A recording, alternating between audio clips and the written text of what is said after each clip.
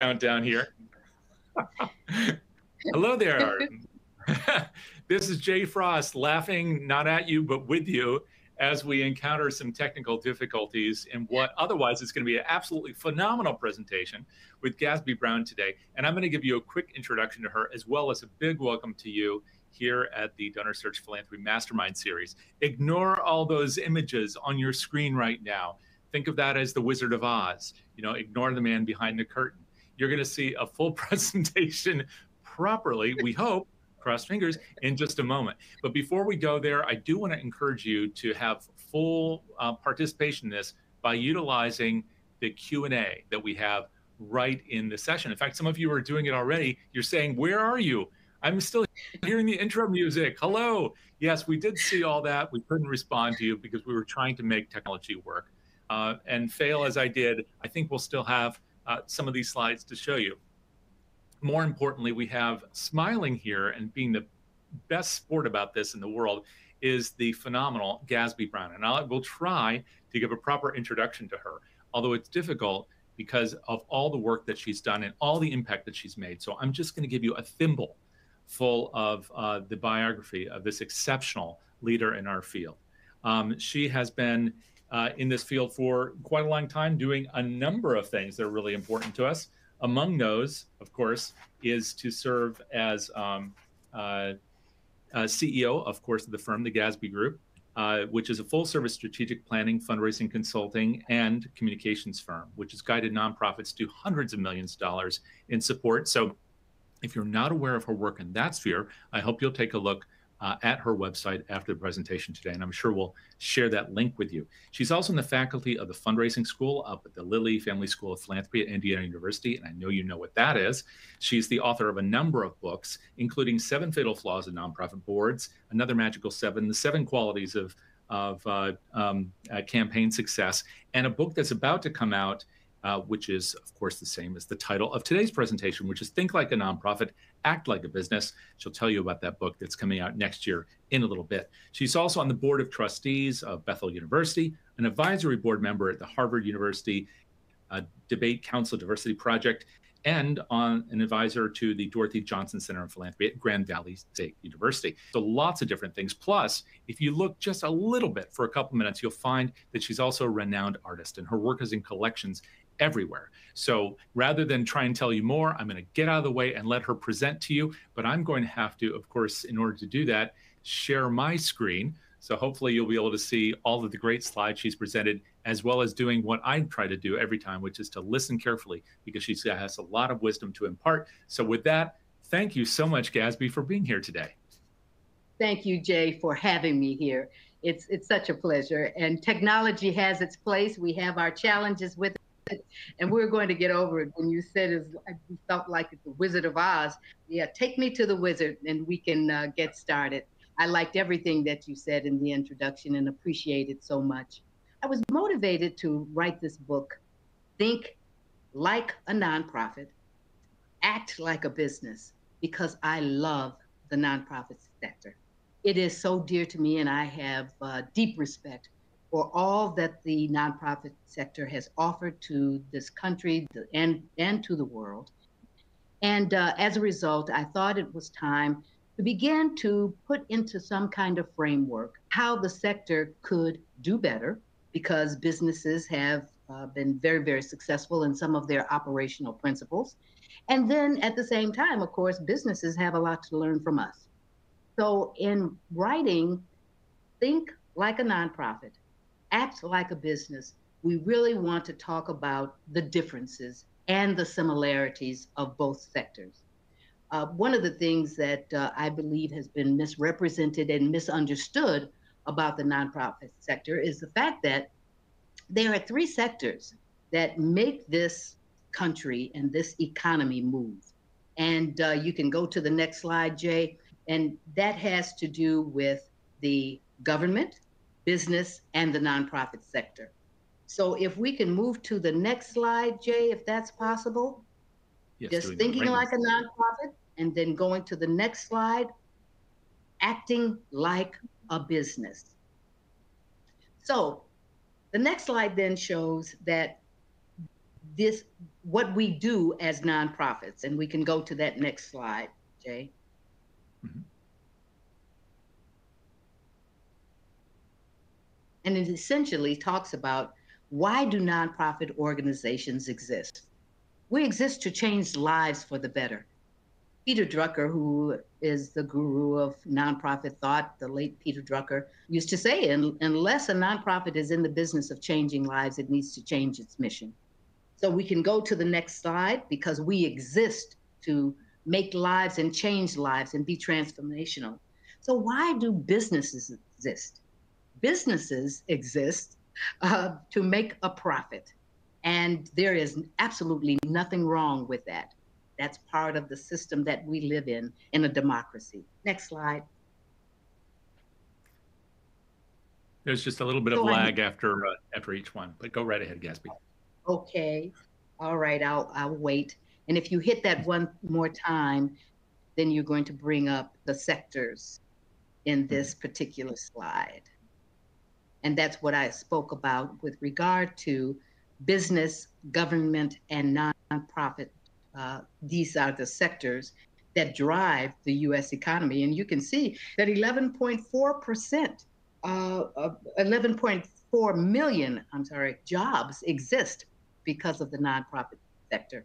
And when we talk about the gross uh, domestic product, it's estimated to be 23 trillion dollars, and it was in uh, the third quarter of 2021. That says 2020, but 2020 and uh, in 2020. And so as a result, uh, we know that there are trillions of dollars that the nonprofit sector contributes to the U.S. economy. Next slide.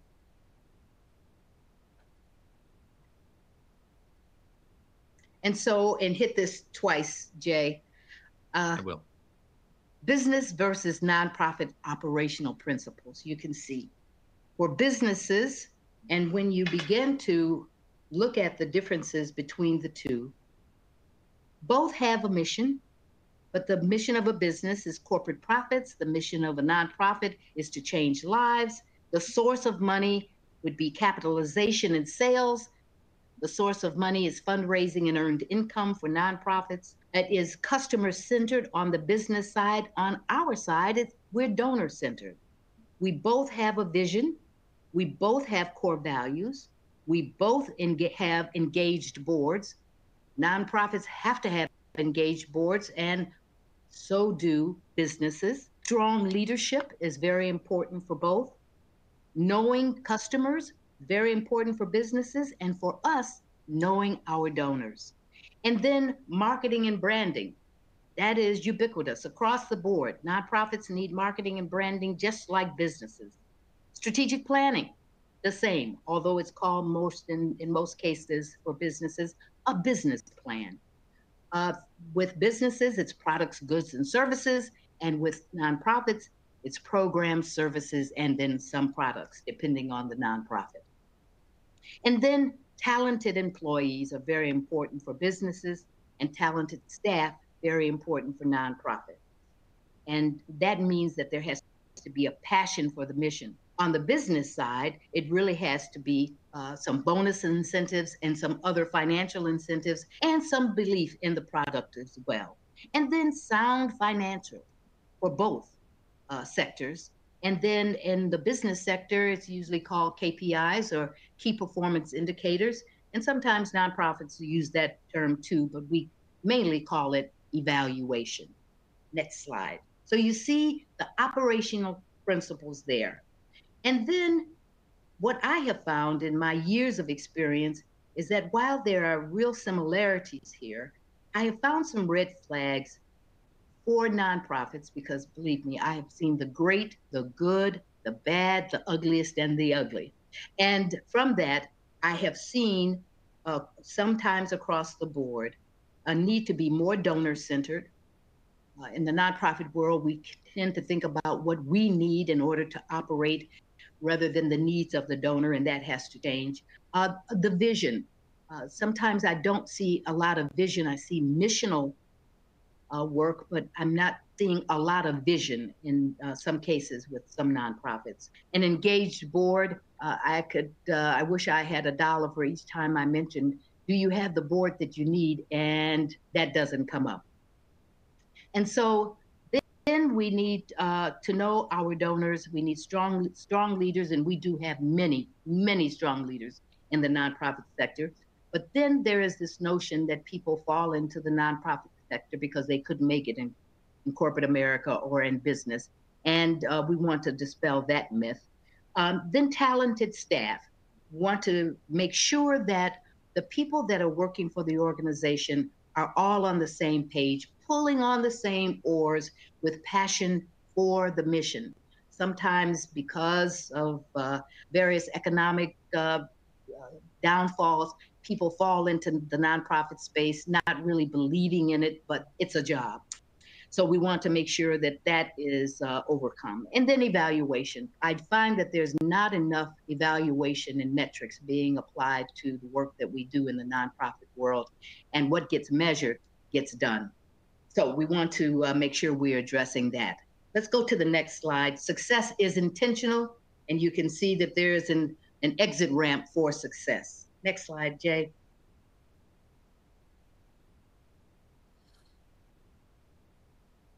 It is so, coming. all right. and I'm learning to be patient. That the A uh, A type in me is is going like, but uh, the other part of me is saying we're going to get this done. So nonprofit organizations must do everything through the lens of your mission. Everything. That's why we call we want to uh, avoid mission creep and uh, making sure that the the mission is solid so that we are staying within the mission parameters. Next.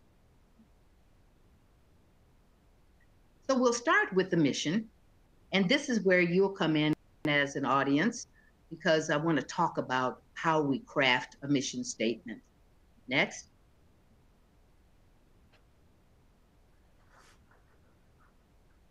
Now you can see that businesses are clear about their mission.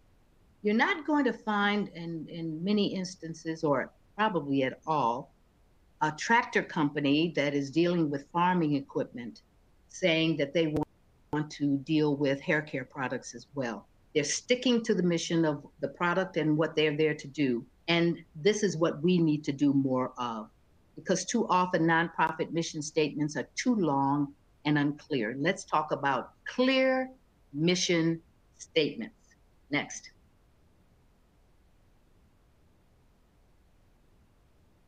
So, what I'd like you to do is to ponder and decide why you do what you do and what do you believe, just as a starting point here. And we'll go to the next slide.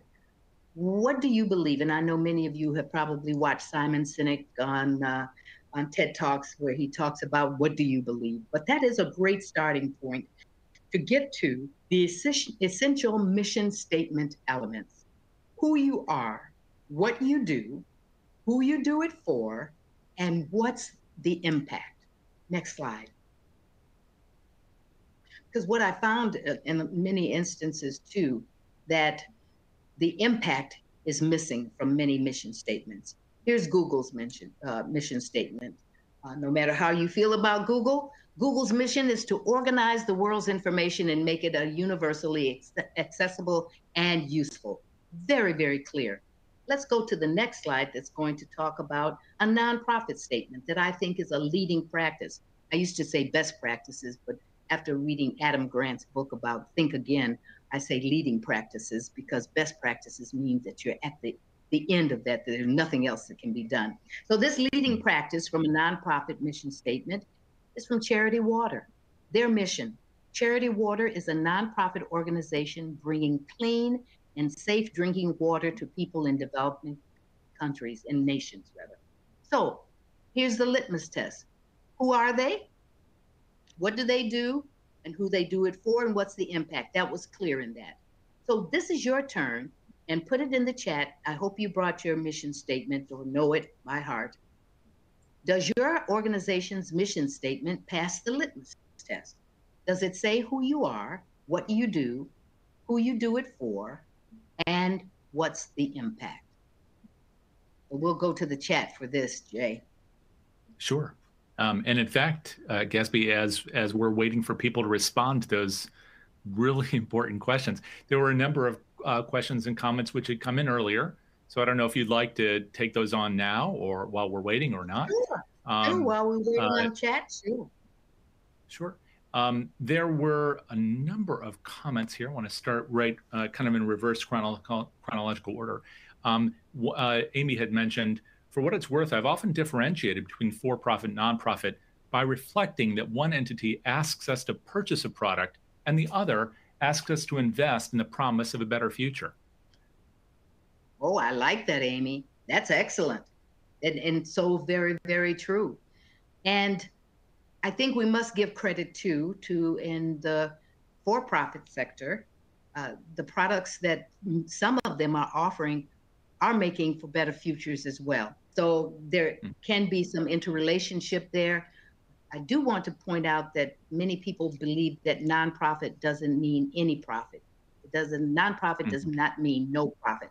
Because as we have been able to enforce to reflect and reimagine and recalibrate because of COVID 19, it is obvious that we have to have reserves. Those nonprofit organizations that had reserves because there was some profit, if you in quotes, that were able to survive and thrive through the, the COVID period and this one too. So reserves fall into that uh, uh, that category, and I want to make sure that we understand that nonprofit does not mean no profit. That's such an important observation, even though it seems like a, a, semantic one. It's so critical. We also had a note from Alex earlier who just said, and I can't remember what he's disagreeing with, but it's one of the slides. He said earlier, he says, I disagree Businesses need uh, businesses exist to solve problems, Alex says, and make a profit doing so. So I don't know if you have additional thoughts on that. Well, it, it goes back to the marketing principle. Some businesses uh, espouse the, the marketing principle build it and they will come. Others mm-hmm. find a need and fill it. So those who build it and believe that they would come, they would not fall into the category of solving problems. They wanted, they had vision and wanted to see something uh, take place. And uh, whatever their belief in it was, it doesn't necessarily mean that it was uh, built to solve a problem. But some uh, some businesses do start from that marketing principle, find the need and fill it. But there are two roads that they go down in that regard. Mm. Oh, and we do have a number of comments now and comments on, of course, uh, mission statements. Uh, Tara Good. had said to ensure sustainable access to safe water, sanitation, and hygiene for the most vulnerable communities through innovative partnerships, creativity, and the power of art. It sounds like she's got that one committed to memory. So that's, that's wonderful. Yes. So uh, let's see if that passes the litmus test. Does it say who hmm. you are? Hmm. Does it say what you do? And I heard a lot about what you do. Who do you mm-hmm. do it for? I didn't hear a lot about that. And what's the mm-hmm. impact? That was what I thought was missing a little bit on that one. Right. Um, well, they do mention vulnerable communities, but I, I see your point. It's uh, that that defines, of course, many many vulnerable communities. Yes. Uh, we have a comment mm-hmm. from Sandra who said, "Yes, we spent a lot of time formulating our mission statement, and I, I know that uh, Sandra's not alone in that. Um, yes, we have Sandra. Katie, who says, Epilepsy Foundation of Minnesota, we lead the fight to overcome the challenges of living with epilepsy and to accelerate therapies to stop seizures, find cures, and save lives. That's an excellent, excellent mission statement. It passed the litmus test on everything who you are. And by the way, I was just in Minneapolis the other day, uh, and it was 27 below. Thank you very much. Uh, what you do, and uh, it, it says that very clearly. Who you do it for, it was just very, very clear, and the impact to make sure that seizures are no longer in doing the research for uh, seizure prevention and, and, and eliminating it. So that was excellent. Very, very good. I would say you're, you're doing great work there on your mission. Would you like statement. to hear more? you know, Would you like to we hear can do one, yeah, one more, One more? we can take, and then we need to move on for just a moment. Sure. Sure. Um, Nancy had said, Our mission is to impact the life saving capabilities and the lives of local heroes and their communities. Okay, so who are you? Nancy, who are you? I, I need to hear who you are as an organization. What and then you talked about what you do, which was excellent, who you do it for. And I would like a little bit more clarity about the impact. Right. And who those yeah. heroes are. And it's possible, Gasby, that uh, sometimes when people are answering uh, here, either in chat or in the Q and A box, um, that they, they, either don't have the space or the time, uh, or maybe are are uh, aware that uh, what they post here is something they're not prepared to share. So that may account for part of the. Uh, okay, I get it. Might sound vague. Um, but others have been it. very very clear in some of these comments, talking about the names of the organizations and who they serve. But this is such a great list, what you're talking about, um, about the litmus test. Uh, would you like me to move on to the next slide? Yes, please. And Nancy, thank you. And just add the name of your organization anonymously or whatever. And I think your your mission statement is on the right track. I need a little bit more clarity about who you're doing it for and the impact. So the vision statement, businesses uh, with a vision are forward thinking. We'll go to the next slide uh, to talk about this some more. Okay. And I've been using this for years. This was so long ago that the vision for Amazon from Jeff Bezos was mm-hmm. our vision is to be the Earth's most customer centric company, to build a place where people can come to find and discover anything they might want to buy online. This vision statement was crafted when Amazon was a book company. Some of you may not remember how Amazon started, but it started out selling books. But look at what it is today. And that's why on the next slide, I encourage all nonprofits to be aspirational about your vision. Don't mm-hmm. repurpose your mission statement, but really, what is it that you want to change? uh, and what will take place as a result of the work that you do. And so, anybody want to offer up a vision statement? A couple of people that uh, they would be able to share with the group. Okay, let me go back to the chat and take a look as people write. Okay. Um, and we're starting to get them. So uh, Sandra had written to inspire unprecedented levels of philanthropy in support of Summa Health to enhance the patient experience, empower clinical excellence, and improve the health of our community. Um, and let me see, Jenny like writes. Uh, oh, well, well, let me just answer hers, the first one. I like the first part of what you said as a vision. The others sounds like you are repurposing your mission because that's what you're doing in the health. You are improving people's health. So I would uh, really encourage you to concentrate on the aspirational 50 years from now, what do you want to accomplish? Think in terms of aspiration. Okay. Mm-hmm. All right, Jay, you said someone else had something? Yes, we have something from Jenny, and who writes to positively impact the health of everyone in our community by providing the financial resources necessary to fulfill Barton Health's mission. Mm-hmm.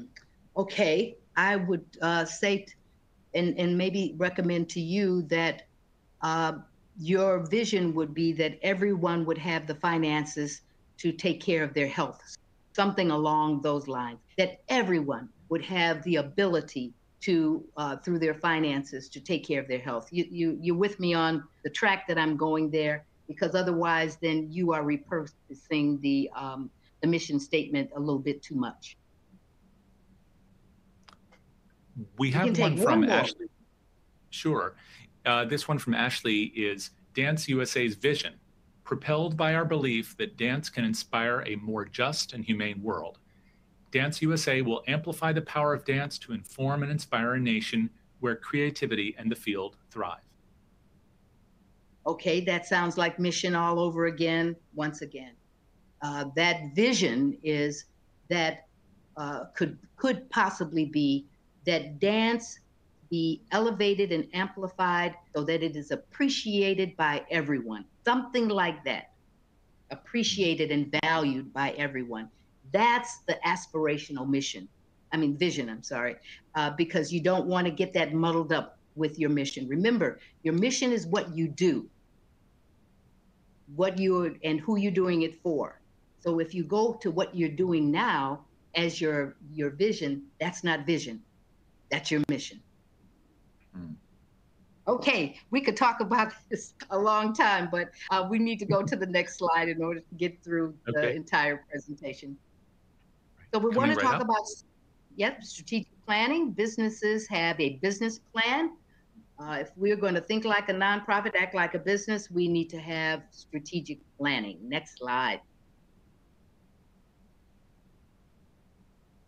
That's, this is your organization's roadmap, and you can just change to the next one on, on this.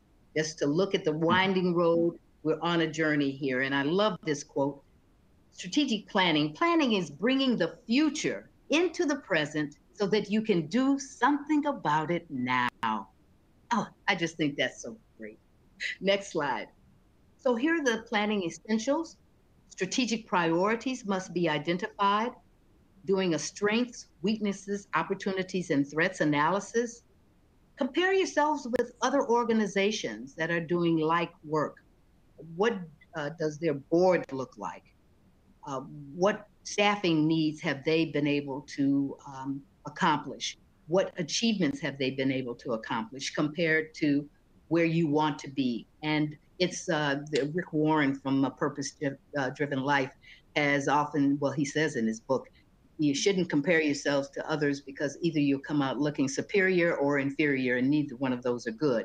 However, we're just talking about organizational comparisons so that you can have some sort of yardstick to measure where you are as an organization. Timelines are important, benchmarks, what are we going to accomplish and when, milestones so we can know what we're accomplishing, accountability, which is so very important. I've seen so many strategic plans that are merely a to do list, and you don't want just a to do list. You want to be able to uh, speak to who is responsible for doing each of the pieces of work that needs to be done. So we know that uh, strategic plan should be smart, strategic, measurable, achievable, realistic, and tangible so that uh, it can be measured and it can be achieved. Next slide. So when you have the CEO or executive director or president, whatever it's called, and the board of directors understand the strategic plan, they commit to executing the plan, then this formula means that they will accomplish and you as an organization will accomplish both your mission and your vision. Next. So in thinking like a nonprofit, acting like a business, businesses carefully select board members. And I know your ears are perking up on this one because I hear a lot about uh, disappointment with boards, but then I also hear about great successes. So nonprofits must be intentional and strategic in selecting board members. Let's go to the next slide, and that's going to speak to how would you rate your board? And we can go in the chat for this. Would you give them an A in fundraising, an A in uh, accountability? Would you give them an A plus in being clear about their roles and evaluating the CEO? Do they get an A there? And uh, a board that does not micromanage should definitely get an A.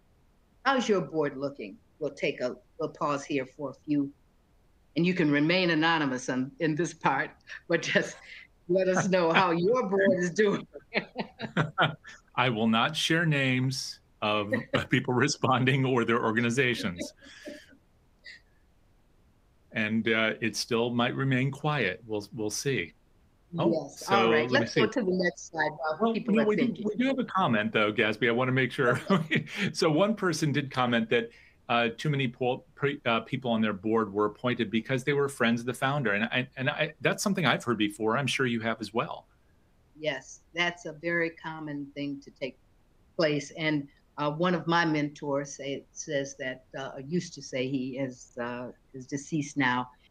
He said that um, many nonprofits don't get the board they need; they get the board they deserve. So I had to mm. fasten my seatbelt for that one because it's pretty harsh, but it is true. So when uh, friends of the founder are uh, appointed to the board and it's uh, like a club, and it's not mm-hmm. made up of uh, uh, someone that I know says that the board should be made up of four W's: wisdom, wealth, wow, and work. And so, uh, if it's it's not going to do that and propel the mission of the organization forward, then it is not a good board. So, someone says that their board is excellent. Did I do I see that? Jay? Yeah, well, I, I, think so. We're we're getting yes, uh, excellent. And, and, again, I'm not going to give names. Too bad in this case. Um, that they have an incredibly involved, supportive, and non-micromanaging board. And several other people have talked about micromanagement, so that's a theme. Um, but yes. uh, several people have said that they have a board that that they might rate as a B, but that they mm-hmm. but they don't micromanage. So that's something that's clearly in everyone's minds. Yes, that's that's so important because I have seen boards who believe that they should be directly in touch with staff and and telling them and directing them what to do when that is the executive director, president, or CEO's job to to run the organization and not get that in the weeds of uh, mm. being in touch with staff members and confusing them about who's in charge. So micromanaging is a no-no. I feel like the Something Kimbe, no, no, no. Something else that came up in a number of responses, who where people were very specific in their grading, um, was grades from a C to an F on fundraising. So you may be mm. talking about that in a moment, but I wanted to make sure you heard that that was a common complaint as well. Yes, thank you, thank you very much for that feedback, and it's um, all too common, unfortunately. But we're going to fix that as we evolve as a sector. All right, let's go to the next slide. Sure, coming right up. So I don't know if you can see this well, and this comes from the wonderful, the fundraising school at the Indiana University's Lilly Family School of Philanthropy, and this is the fairy tale uh, from Planet uh, uh, Fairy Tale for board members, where the board member is saying, "So tell me about how the uh, philanthropist comes and saves Cinderella's organization tell me again and again and again. And that is just what it is a fairy tale. Uh, board members must be involved in fundraising. And members of the board of an organization, and particularly the board chair, are key members of your organization's team. They must give an annual personal gift to the organization. Uh, board members must be active participants in fundraising on behalf of the organization. They must be ambassadors. And some board members may feel that they are not ready or equipped to make a solicitation or ask. But there are other ways that they can be involved. How about the thank you notes to the donors that uh, have given? And how about uh, hosting something that uh, donors can come together to be thanked? And those sorts of things that really still contribute to successful fundraising but are not necessarily direct ask. You want the most talented people uh, on your board to be involved in that. And you, of course, must have 100% board giving. That's a given. Uh, every foundation these days is asking for that. And uh, in order to get grants, that is very, very important. Moving right along here, in terms of the board, here is the process, once again, from the fundraising school, the, the fundraising approach, the team. The mission, the board, and the staff, that's the team, and it breaks at its weakest point. And the process is cultivation, solicitation, and then stewardship. Many people get cultivation and stewardship confused, but you must cultivate those potential donors before you make an ask, and then knowing the right time to make the solicitation, and then stewarding the gift by letting them know the impact of the gift letting them know about the organization's overall impact and the difference that you're making. So that's the stewardship part of it. And stewardship, of course, is giving the receipt and making sure that the thank yous are, are given uh, within 48 hours of their gift. So that process fails unless it's understood because too many people want to jump right into solicitation before going into cultivation. And then donors must have linkage, ability, and interest. And if you fail to qualify each one before moving forward, you may be moving too fast and making your move too soon towards the ask. So here's what the board depends on staff for the knowledge of the volunteer fundraising expertise um, for the knowledge of the community, your professionalism, and also sensitivity, ethical behavior, of course, and then your sensitivity to board members' needs. So if you click that again, Jay, mm-hmm. you'll see what the staff expects of board members, which is very reasonable to believe in the mission, to give, to influence, to have some knowledge of prospective donors, time, energy to do the work, asking for gifts, and then pride in the accomplishment. There, for those of you who have gone through this, you know about the great sense of uh, deep appreciation and um, a sense of fulfillment once you have a gift and the donor is happy, you're happy, and uh, your mission is being fulfilled. So, Peter Drucker, once again, uh, with so many pearls of wisdom, he says, culture eats strategy for breakfast. So, you can have the best strategic plan in the world, but unless the culture is ready to embrace it, there's going to be some problems. So, we'll go to the next slide that will elaborate on that some more. Creating the organizational culture where people want to work. And this has been, uh, you know, corporations uh, have tried to make their cultures even better. And I, I think they could learn from nonprofits, quite frankly, on how to create a better culture of camaraderie. But when we look at Glassdoor and it talks about the best places to work, and there's a list of them, and we'll go to that on the next slide, and you can just slide to that, uh, Jay, mm-hmm. where some of the best places to work through Glassdoors and Glassdoor and how it's been um, rated, but also there have been incentives that uh, that businesses have now provided to get people to work. Look at like Amazon and McDonald's, and they're paying people, giving them signing bonuses and and the like. Go to the next slide, Jay, and this is a, a list here, and then there's another list of those who Bartlett Plumbing and um, expanding horizons and Hilton hotels. They're giving all kinds of incentives to make sure that they're getting good employees. Um, that there's a lesson there that maybe we could learn from and see these are some of the the corporate cultures that lead to powerful production from uh, Glassdoor's point of view, and people had great deal of satisfaction in working there in some cases. Let's go to the next slide and talk about what this means for nonprofits, because hiring and retention uh, can be a challenge for nonprofits, and you'll see that uh, on the next slide that the Chronicle of Philanthropy uh, did a, a, a uh, an issue where it says why fundraisers are fed up. And it breaks down some of the reasons. And one of the key reasons that fundraisers, in particular, that work for nonprofits, are getting fed up and have left is because the expectations have been too high too soon and uh, they've been unrealistic and there has not been enough support from both the board and other factors in the organization to make the fundraising successful. So there is a real need to make sure that expectations are realistic. Certainly, they should be stretch expectations, but not so unrealistic until they cannot be achieved. Let's go to the next slide, and uh, I'll give you time to ruminate on that. So, Nonprofit Times has its best nonprofits to work for. And uh, let's go and see what that's all about, Jay. Mm-hmm. And here is the, well, a, a, a, bar chart that talks about leadership and planning and the various areas that are so important to um, the uh, satisfaction of employees. Let's go to the next one because that one's a little hard to read for right now, but in the in the YouTube it will be uh, much easier. So Mm-hmm. Do something. Uh, wounded warrior, warrior, musicians on call, trauma and resilience, the Lord's place, uh, and various organizations have been called out as really being great places to work because of the climate that has been created for uh, staff in nonprofits. Let's go to the next one.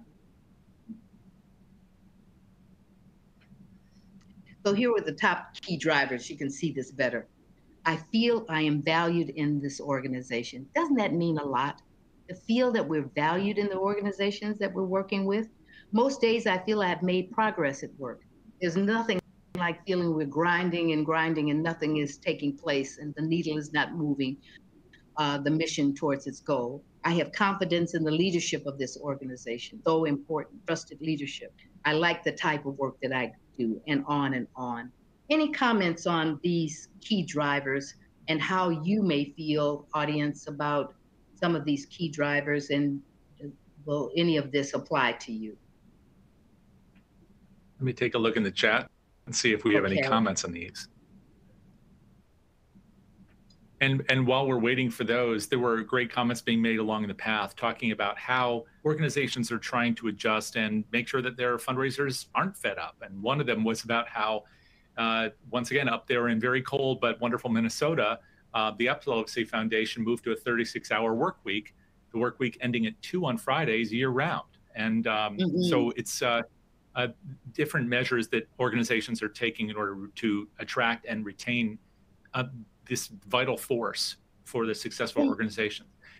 And Jay, isn't it so important? And thank you once again for, for sharing uh, that uh, story about the Epilepsy Foundation there. Uh, we in this time have to reflect and reimagine and recalibrate where necessary. If there was any time for innovation, and thinking about what has been done in the past and what needs to be done now. Now is the time. Uh, it used to be referred to as the new normal. I refer to it as the now normal.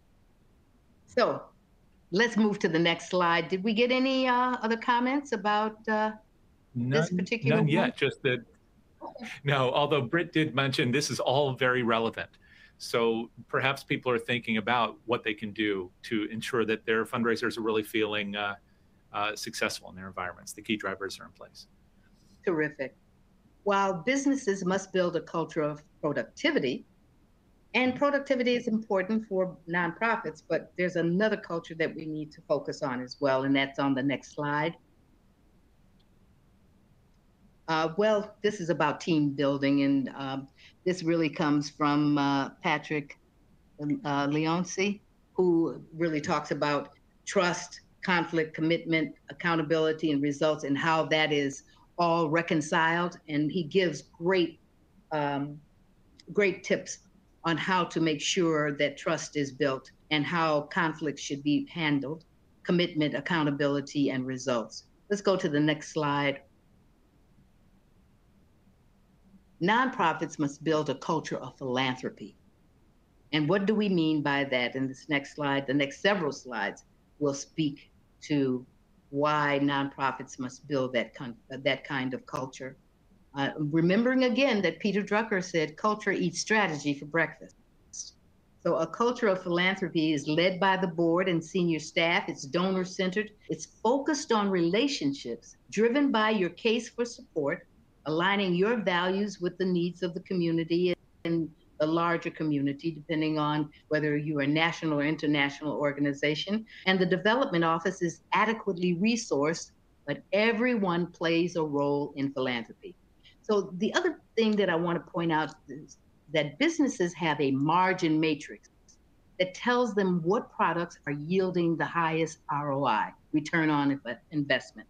So this next slide is in terms of our fundraising and how boards look at what we do. Nonprofits, you need to review your margin matrix and know to what degree each program contributes to your mission and your financial margin. Every employee, every staff member should know that. To what degree each program contributes to your mission. So the fundraising decisions should be also based on return on investment. And Jim Greenfield, uh, one of our colleagues, did a wonderful job. And we can go to the next slide where he lays out the ROI and the cost to raise a, a dollar. Take a look at this return on investment for fundraising vehicle. And many of you have seen this before. That CRD there is cost to raise a dollar ROI, return on investment, without uh, having a donor base and data, a solid database. When you start out, you have to rent or buy a list, knowing that the cost to raise the dollar is going to be a dollar and 15 cents, and you're going to lose money in the in the first part of it. But we'll we're going to go down to uh, when you have this in place. It's so it's worth the investment. Special events, which I have a bias against, uh, just to let you know, uh, there's a 50-50 return on special events. Planned giving, the cost to raise a dollar, 25 cents on a dollar, but you get 75 cents in return. For direct mail, when it is a more mature direct mail uh, list with previous donors that you're tracking, 20 cents on the dollar to raise, but you're getting an 80 cent return. Foundations and corporations, putting 20% of uh, your cost to raise the dollar there, and then 80 cents in on the ROI. Major gifts, which is the, the most wonderful return here, five to 10 cents on the dollar and 90 to 95 cents return. So the average of all of this is, is uh, 20 cents and then 80 cents on the on the dollar that you are able to to raise with this return. So getting when you look at uh, something like that, you've got to ask yourself, and why are we continuing doing the golf tournament that's not making any money when we should be focusing more on major gifts where we're getting a, a larger return? Um, so, or that uh, that dinner or lunch that is a cultivation mechanism, but it is not uh, raising any money. So there we get to the point of also being able to discern whether it is a fun F-U-N raiser a friend raiser or an FUND fundraiser. And if it is a fundraiser, it should be meeting its financial goals. Okay, businesses know about the business climate, and nonprofits must know the philanthropic landscape. So let's look at the philanthropic landscape. And here you can see that $471 billion were contributed to uh, nonprofits and charities in uh, 2020. You know, we all wait for bated breath for the Giving USA report to come out that will give us this year in June what last year looked like. So in 2020, we can see that uh, that was a great deal of money given to charities, 69% coming from individuals, 4% from corporations, um, 9% from bequest, and 19% from foundations since at least half of the foundations are family foundations and bequests are all um, individuals, you add that along with the 69%, and you're really in the 96 or 92% percentile on individual giving. So, why are we just comp- uh, concentrating on corporations? That's a question to be asked. Next slide which really does, uh, it breaks down the sectors. And I know many of you have received the Giving USA report. If you haven't, uh, please go to the um, Lilly Family School of Philanthropy's website and uh, get the report, or you can Google it, and it will be there uh, to for you to be able to see how your sector fared in in the giving uh, religious organizations first, and then um, education and human services were, were following all of that. Let's move to the next slide. I just encourage you, for those of you who don't know about the Giving USA report, uh, we move through that. I think I want to move uh, past all of these slides with the bar graphs, Jay, and uh, get right to the business of this. Businesses know their customers.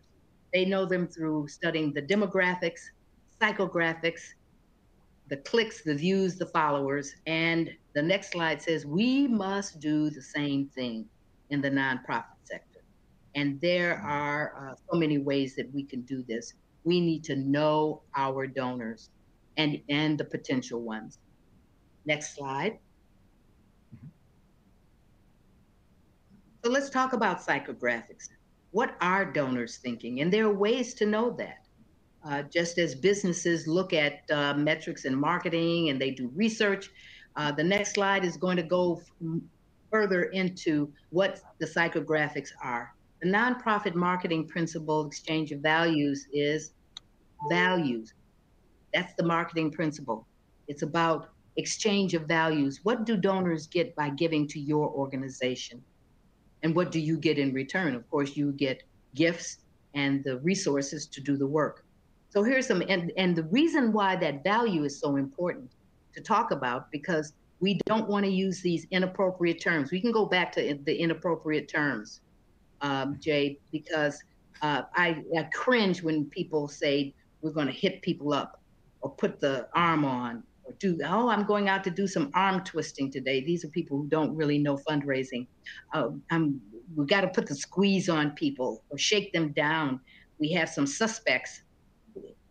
We give to organizations. We don't want to be referred to as suspects. I'm going out. I heard someone say once, and I thought I was going to have a hissy fit. Uh, they said, I'm going out and do some begging today. And pitching is, is something that is commonly used, but we really don't pitch. That's in sales. We're in philanthropy, and the nuances are given. That's why we don't say you should give, you ought to give, you owe us. Corporations don't say you owe us. Corporations say we're going to provide a, pro, a product to you that is so good you'll want to buy it. Okay. And what we want to do with uh, donors is to meet them where they are with and, and give them great satisfaction in making a difference. So, uh, Dr. Sara Konrath at uh, the Lilly Family School, and she's on uh, a hiatus and sabbatical right now, but she talks about the psychological motives for giving and volunteering. And we can go to the next slide and move quickly through, through this because uh, this will be available. And you need to click several times to get the age differences in giving uh, in young adulthood. There's the ego but broke, middle age, the ego, and all of that is taking place. And there is trust. Click it one more time because the trust oh. factor is is yeah that's important for all age groups the trust factor in your organization in middle age and people starting to have children or have children and moving along with their lives trust is the most important thing because they are already dealing with the ego and uh, feeling a sense of altruism. And then older adults they want to have the sense of social gathering and belonging and being a part of something tax write-offs and of course trust. And the u.s uh, trust bank of america and the lilly family school of philanthropy have done studies that speak to uh, very, very, for high net worth individuals who say that they trust the organization, the nonprofit, to do the work where they cannot do, uh, do it alone. So that trust factor is very important. Let's go to the next one. So here are, and just keep clicking, some ideas about some appeals when you are appealing to your donors. Uh, to those who are altruistic, want to help most, click here to make an unrestricted gift appeal to the social motives, those people who really are very social and want to be with other people uh, in this uh, giving area. Check this box to care pool with a friend. We'll send them an invitation to give. Direct appeal to trust motives. We have the highest rating for financial accountability and transparency with Charity Navigator and independent other independent watchdog agencies. Um, direct appeal to the ego. Donations of $25 or more are published in our monthly newsletter because they want to have recognition. Uh, direct appeal to tax motives 100% of your donation is tax deductible. And uh, if we click one more time, we, ah, will definitely go to direct appeal to anybody who says they have restraints. I'm broke. So you can say every single dollar counts donate as little as a dollar at a time because you want to get people in the habit of giving. So you you you can start with that group. So businesses are making their board staff and marketing approaches more equitable. Next slide speaks to how we as nonprofits have to change how we achieve equity on board staff donors, the donors and marketing approaches. Let's move ahead here quickly. Mm-hmm. Um, women, women giving and we'll go to the next slide. A lot of studies have been done with regard to how women give. Single women are more likely than single men to give to charity. How about that? Women give higher amounts, controlling for income and wealth, of course, but they tend to be more generous. Women tend to spread their giving across more organizations, and men concentrate their giving mainly on one thing. And uh, women are more likely to give almost every year as opposed to men sometimes skipping. So let's go to the next one. We can see that uh, there are some shared decisions that be, are being made by households about giving to your organizations, but 77, not 75%, it is more likely to be a woman to make the, the ultimate decision on how they're going to, a couple will give, a household will give, and how much. Do you find that interesting? Women. All right. Then we look at the African American uh, philanthropic landscape, and we'll go to the next slide for that. Because there is gold in Dimdar Hills and it's being uh, ignored in many cases. So the next slide will go into some more detail. Um, they give more as a percentage. Next slide to income. According to the Coalition of New Philanthropy, African Americans in the New York region gave more annually than either Latinos or Asian Americans. Next slide. We're talking about equity and diversity. Let's see, you can talk about diversity, but in my mind, that's checking off boxes and it's a where, where to start. But when you talk about equity, you're talking about something a lot more serious. Uh, African American high net worth philanthropists are significantly more likely to monitor or evaluate the impact of their giving. Because it tells you that a lot of communication uh, needs to take place. And once again, this is knowing your donors, diversifying your fundraising base. Uh, high net worth African American individuals are significantly more likely to plan to increase their contribution in the next three years. Cultivation is key there. And then the implication that uh, religious giving is uh, very high is a correct one. Let's go to the next slide and delve a little bit more deeply into this. Uh, the three C's of Black philanthropy, cornerstone, giving to higher education and the arts, really, really high. Community, donating to organizations that serve the Black community, and consecrated. There is a lot of giving to churches, but the misnomer is that Black philanthropy is giving all to churches, and that's not true because education, higher education, and the arts are playing a big role. So you can see some of the people, they're not all famous, that are actually giving at high levels. Uh, usually I'll I begin to ask, can you point out anyone in, in these photographs? But in the interest of time, I won't. Maybe when, if you're able to go back and watch this on YouTube, you'll scrutinize this and see if you know of anyone that's uh, any pictures here. And on the next slide, there are more photos of people. But for example, the woman, the third one uh, uh, on that previous one, you don't have to go back there. Um, her name is Eileen Norton. And if you have Norton antivirus on your computer, uh, she and her husband founded that company. They're now divorced, but she is a philanthropist and has uh, incredible capacity. So this is just another visual. Um, and the other person that's in that visual, the second to the bottom to my left, is Osceola McCarty, who was a laundress who gave $250,000 to the University of uh, Southern Mississippi. So don't count anyone out. Let's go to the next one. Because the African American, um, the National Museum of African American Culture and History um, it was a game changer. We can go to the next slide. So much money was raised from the African American community for um, the African American Museum that it was a game changer in understanding the wealth that exists within the, that community. I and I said before, don't count anyone out. Uh, she gave her gift was actually $150,000. The the uh, University of Southern Mississippi and it was the largest gift at that time from an individual that they had ever received. And she didn't even know how to, uh, because she had a third grade education, lived frugally, and a wonderful person that I had an opportunity to spend time with. And the the dollars that she had accrued because she would take in laundry was so big, the banker had to take 10 dimes and have her push those towards where she wanted her money to go. So it's a that's a precious story. We'll move on.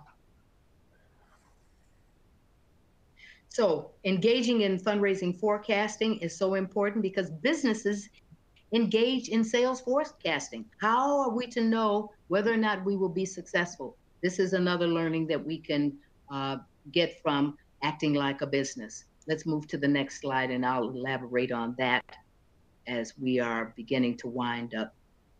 So, how to measure success and forecast future annual giving. The annual giving program of your organization is the linchpin of all giving. Your major gifts come from there.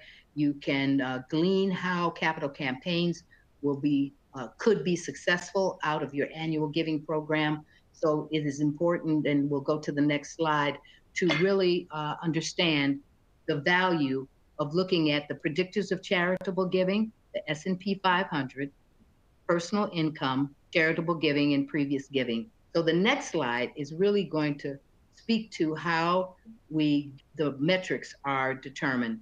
Repeat donor renewal rates across the country. Uh, the average rates across the country is 70% for renewal. Upgrade and downgrade rates you want to look at. New and recaptured donors, looking at that metrics by appeal strategies, whether it's direct mail, phone, social media, email, and events. Go with those things that are giving you the best return. So we go with RFM with data, data mining, RFM, recency, frequency, and monetary value. How recent was your donor's last gift? How frequently have they given? And how much has the donor given you? So, yeah, that was great, Jay. You can move to the next one now because what's measured gets done.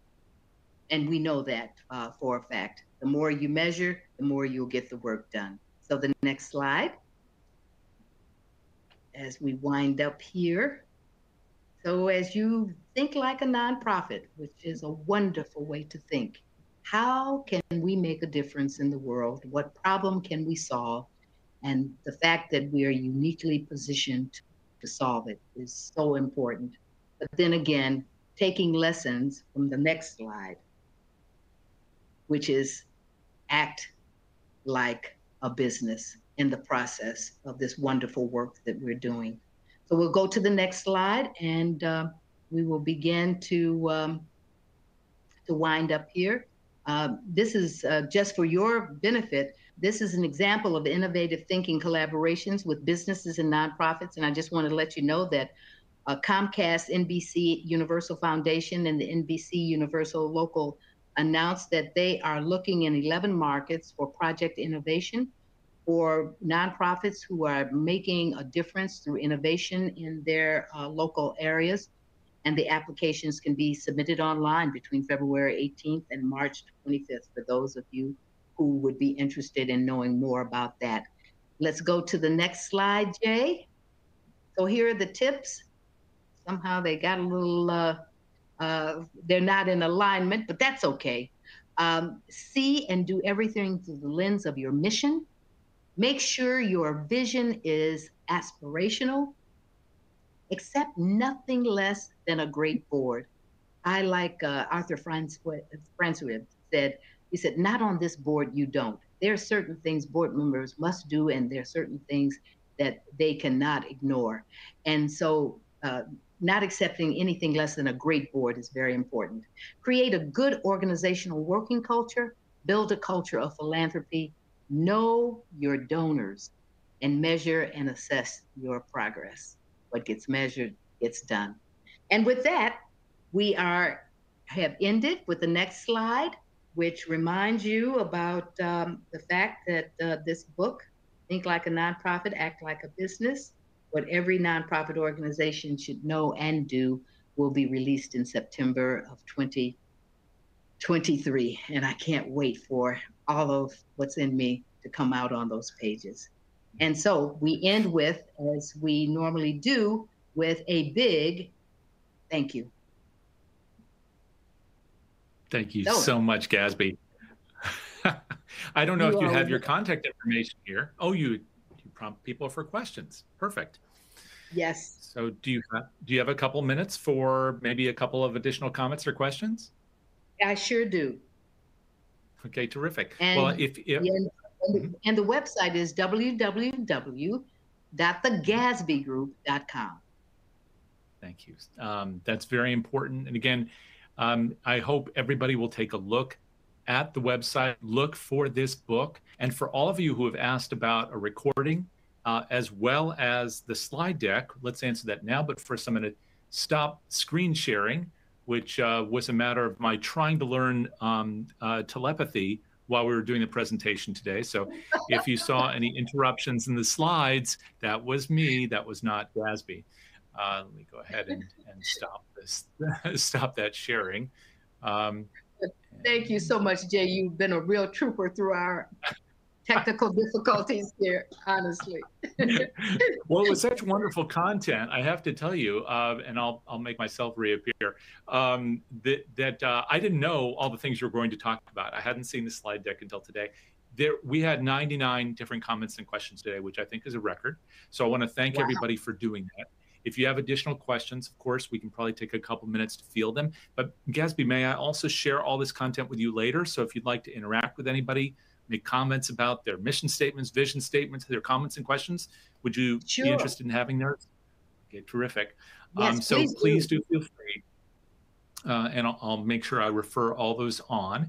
Um, let me see. We have uh, what was the information for the innovation grant. That will be in the slide deck. So Gasby, may I uh, also share the slides with people who attended today? Would that be all right? Well, they will be on YouTube. You. But some of the slides are proprietary. So unfortunately, um, I, I, would need to get additional clearance, and then some of them are just proprietary, especially since the book has not been published yet. So if you'll just be patient with me on that. Uh, you can see it on YouTube, but the slides are not available. Understandable. Um, and I hope that means that people will go and make that extra effort of getting the book, but also seeing the slides, uh, uh, rather the video, which will be on YouTube. Uh, people may be watching this right now on YouTube in the future.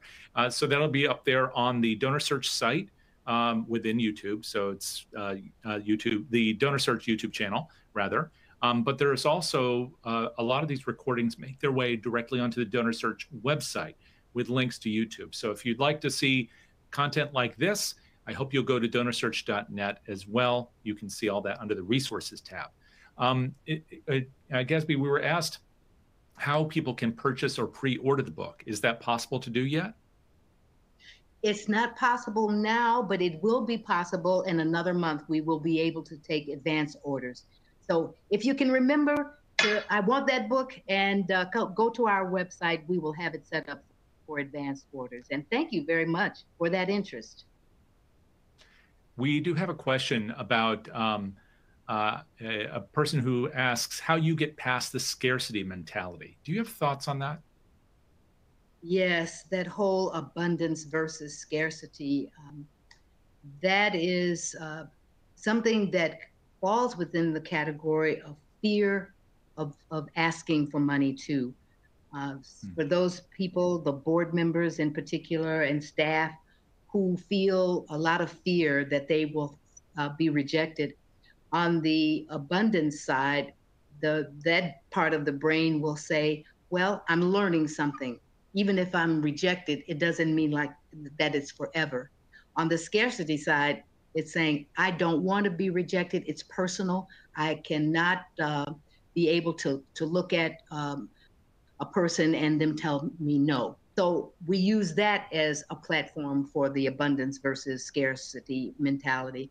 But then to counteract all of that from a data point of view, we point to the $471 billion that was given to charitable causes in 2020, and we expect that it will at least incrementally increase for 2021, despite COVID 19, despite other things. And so, utilizing data to say, here is the abundance model. We do have um, uh, a, generous, uh, a, a great deal of generosity when it comes to giving.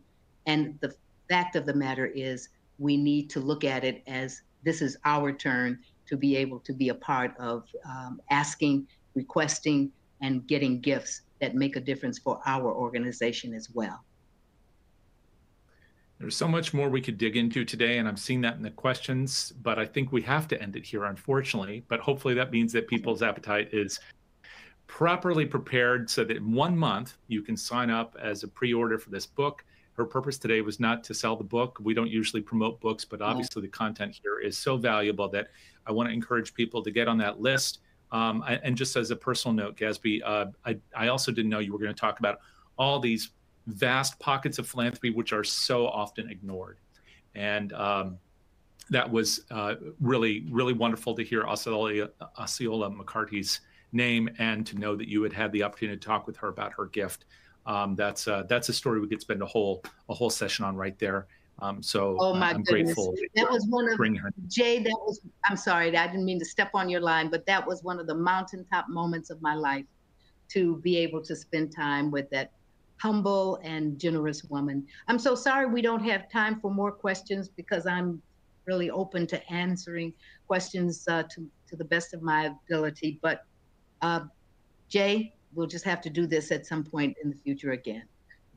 I would love that, and next time we'll make sure that the slides are all cooperating with the both of us. But uh, but I do appreciate your willingness to mush ahead nonetheless today. Um, we'd love to have you back, and everybody, uh, please do again look for this video on YouTube, as well as uh, go over to Gasby's site, learn all about her work, not just the book, but everything else she does. And can you tell us one more time how people can find your website? Yes, www.thegasbygroup.com. And Gasby is spelled G A S B Y, thegasbygroup.com. And we'll be happy to hear from you. Thank you so much for this. And thank you, everybody, for being here. If you're interested in more presentations like this, uh, although this one is clearly unique. Uh, you'll find that there is a lot of great content in the Philanthropy Masterminds program, which is brought to you, of course, by our friends at DonorSearch. They provide this platform. They've done it for several years. It's all this great non-commercial content like this with leaders like Gasby. I hope you'll return for some of those sessions. We have another one coming up next week uh, with Gail Perry, who is a name that probably many of you know.